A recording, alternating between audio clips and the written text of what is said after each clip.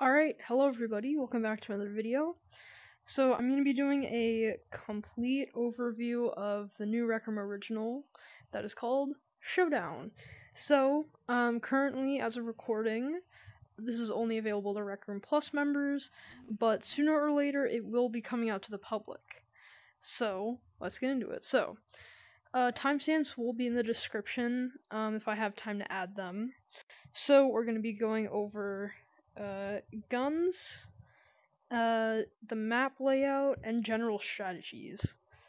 So, the first thing that we can talk about is, of course, the revolver. So, how the revolver works is you just shoot it, you can you can continue to click it or you can hold it down and it will fire. It's pretty cool. Um the reload animation as you might have seen the little barrel right here comes out. Um, it turns and then it goes back. You can't really put bullets in it because you don't really reload guns like that in Rec Room. So, yeah, now I'm going to go to my POV and we're gonna go to the next weapon. Next weapon we can talk about is kind of it's kind of like the pistol. It just has smaller shots, and that is the um semi-auto, I think. So basically how this works, or no, it's a burst. So basically, shoot, and it, but it bursts. So it isn't completely rapid fire, but it'll just do this.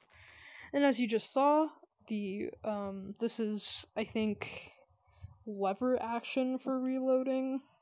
So it's pretty cool. Um, it shoots out three or four bullets and it's great for long range, but you can get exposed pretty easily.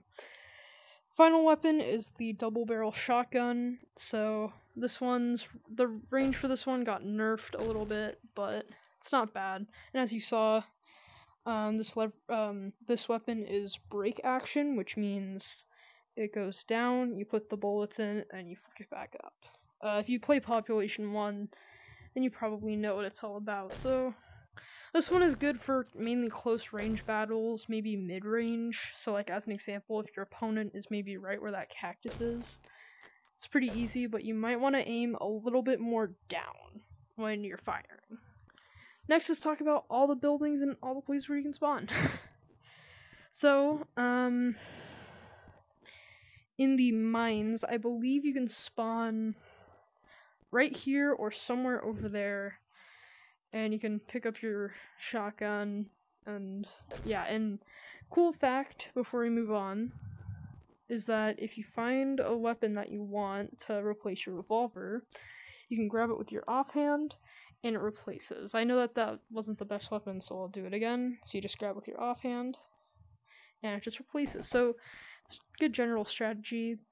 The next place you can spawn and this is the most common place you can spawn right here so you can either jump onto the chandelier or go back there, grab that gun and snipe, or you can just go for it. So grab it with your offhand and it'll replace. Then you can go to the chandelier, shoot if you need to, and then come back here. And of course you can just continue shoot. Um so the next place you can spawn is, I believe, in the jail. Now, I'm pretty sure that when you spawn in for the first time in the game, you have a chance to spawn here. The next place you have is this one right here. You will normally spawn right in front of the door. I think it's either right here or right here as well.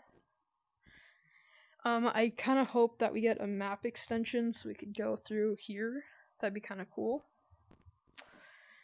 Um, and then the final place that I know of that you can spawn is right here. So, a cool little map detail that most people have kind of already realized is that you can bounce on this thing right here. Pretty cool. Um, and also, I recommend that you don't jump to get ladders because when you clamber up, you go a lot slower, but if you just move up to it, you just kind of fling up and then go forward a little bit. So, it's a pretty pretty cool little thing. next let's talk about general strategies. So obviously, keep moving, keep strafing, um, just like in paintball and laser tag and all that stuff. Just keep keep moving, you know.